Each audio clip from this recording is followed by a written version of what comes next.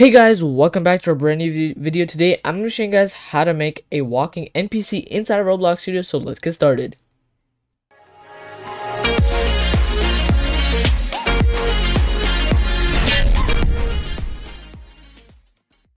Alright guys, so before we start, thank you guys so much for 830 subscribers, which is amazing. Uh, 850, sorry, 850, Bruh. I know I'm very clumsy today. Uh, so 850 subscribers, thank you guys so much for that uh, for that um, which is amazing. I know we hit uh, 850 subscribers a little slow, uh, like 50 from 800 to 100, 850, uh, because and that's completely my fault because well I'm not very good at uploading too long. I know I didn't upload for a long time, um, but yeah, let's get uh, let's get started. So first off, what this NPC is going to do. So uh, first off, you want to insert a NPC, and next uh, you just want to make some like parts around the map um, doesn't really matter what size they are. I'd, I'd, recommend keep them as small as possible, like this uh, one by one by one squares. Um, and that should be it. So what this NPC is going to do is just going to walk to these points after a specific amount of time in seconds. So like wait three seconds, I guess, and then it'll go to this part and stuff and around.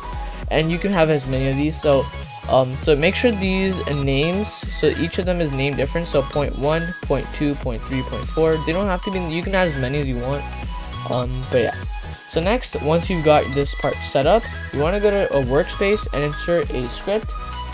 And uh, now we're going to start um, scripting.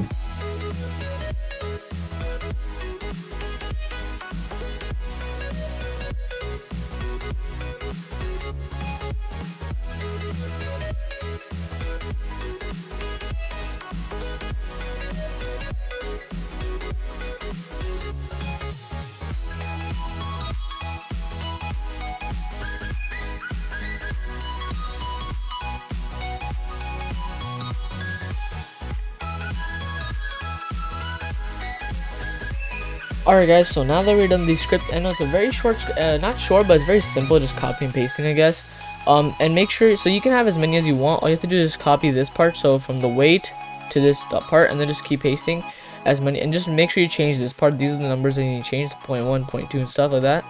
Um, and another thing, uh, I would say, make sure do not, there's not a wait at the end, so the wait, if, if this is the end, make sure there's no wait.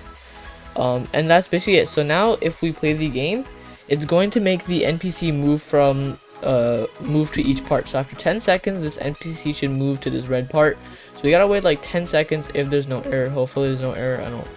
There we go. So as you can see, it moved to the red part. Now it's gonna move to the green part. Now it's gonna move to the blue part, and then the yellow. And then yeah, and then you can add as many as you want. So because we added only four, there's gonna be four. And that's basically it for the video. So hope you guys enjoyed. Be sure to like, subscribe. Um, uh, like I said, new merch is coming. There is actually one shirt. Yeah, I know it's gonna loop it now. Uh, but yeah, because in, we put in a while wait true, uh, while true thing loop, so it's a loop. Um, but yeah, that's basically it for this video. So hope you can enjoy. Be sure to like and subscribe. Uh, comment down what video next, uh, what like video idea I should do uh, next, and uh, you will be getting a free shout out too. And um, yeah, I'll see you guys in the next video. Uh, bye.